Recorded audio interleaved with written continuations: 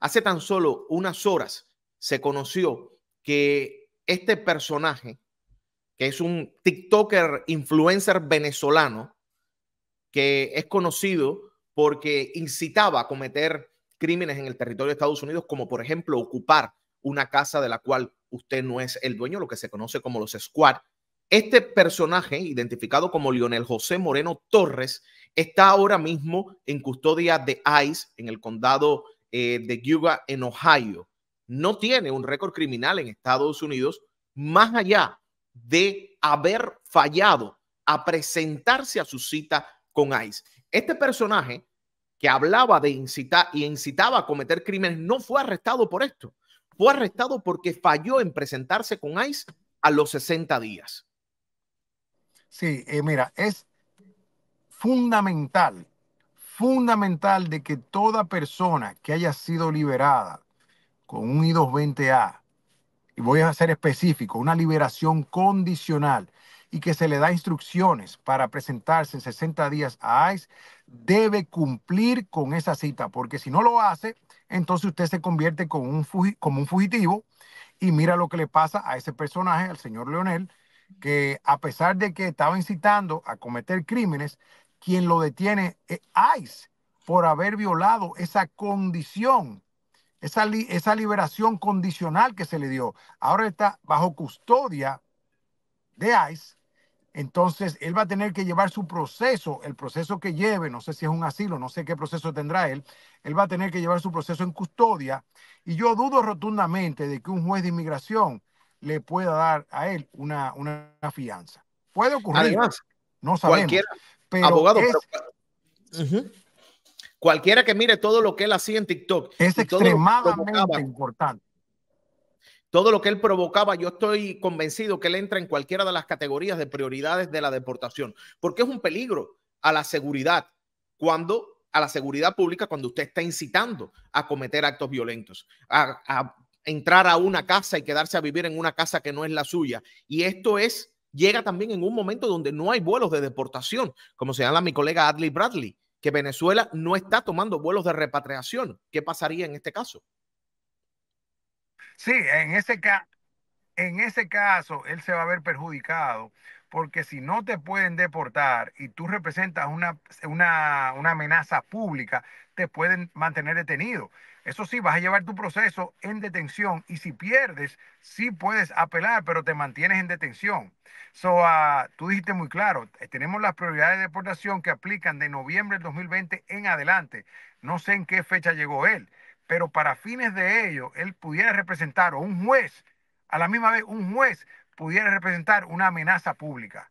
Eh, oí por ahí que estaban hablando de que él estaba sufriendo de una enfermedad, no sé hasta qué punto, porque tú sabes que hoy en las redes se oye de todo, pero eso sería también algo que tendría que eh, analizarse en el momento de que él tratara de pedir una fianza, pero yo dudo rotundamente de que a él lo liberen.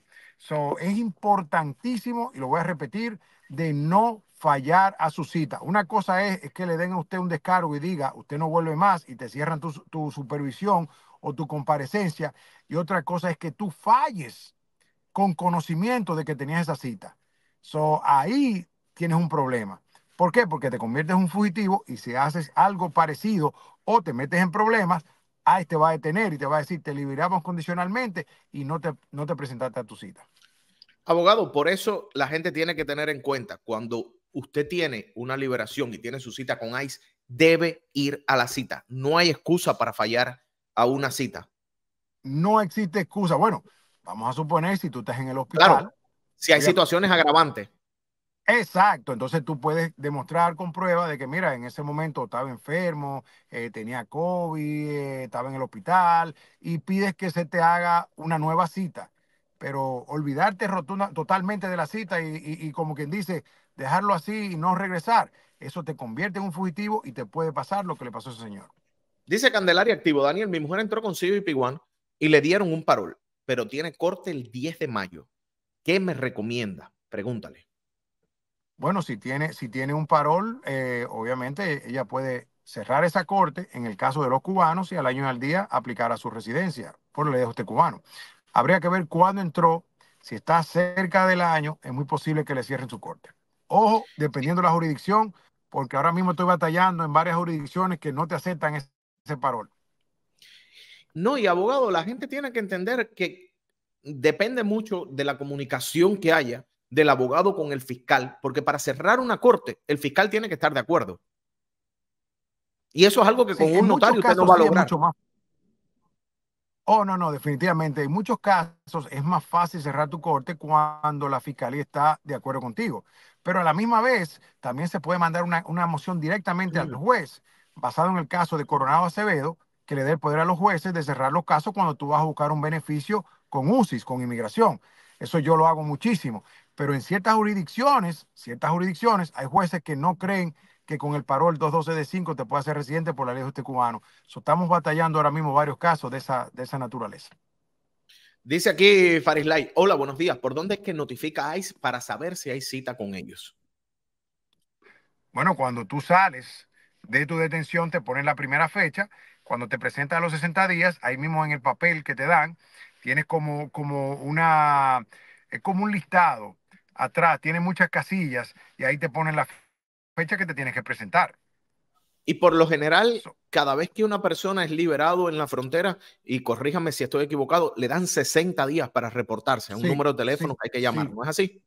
Correcto, correcto. En lo general, casi en el 99.9 de los casos tiene que reportarse a los 60 días. Hay otras personas que también le dan instrucciones que tiene que hacer lo que se llama un check-in con ICE y ahí tú tienes que coordinar tu cita, pero 99.9% tiene que presentarse a los 60 días. Abogado, sé que tiene corte en estos momentos, pero una última pregunta. ¿Qué se puede hacer si te negaron la residencia con I-220A y te mandaron una carta para abandonar el país? Bendiciones. Bueno, en ese caso, si la persona se la negaron y no está, eh, primero hay que ver cuál es la negación, por qué es la negación. Pero si te la negaron, todavía existe la, la, la, figura de una moción de reconsideración. Y si ellos tenían la moción de reconsideración, porque no tiene apelación tiene una moción de reconsideración, todavía puede eh, eh, eh, poner una demanda federal, que eso es lo que se está buscando, una demanda federal individual para que te otorguen un parol. Otra prueba la presidencia. ¿Tiene tiempo para mí o ya se tiene que ir? En las dos. Yo cumplo con que ir, mi estimado, a las dos. Eso me suena como este tema. Me tengo, que, ir. Contigo está mi corazón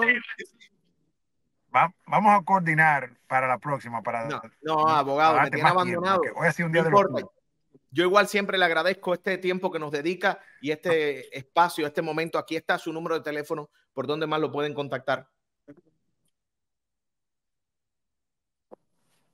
Estamos, estamos, si me escucha, porque se está cortando, estamos en todas las redes sociales como el abogado guerrero. Perfecto. Y ahí su número de teléfono. Muchísimas gracias por este tiempo y suerte con su corte. Un placer para mí. Cuídate mucho. Bueno, ahí estaba la inteligencia y el conocimiento del abogado José Guerrero, que a quien le agradezco este tiempo que nos ha dedicado a nosotros.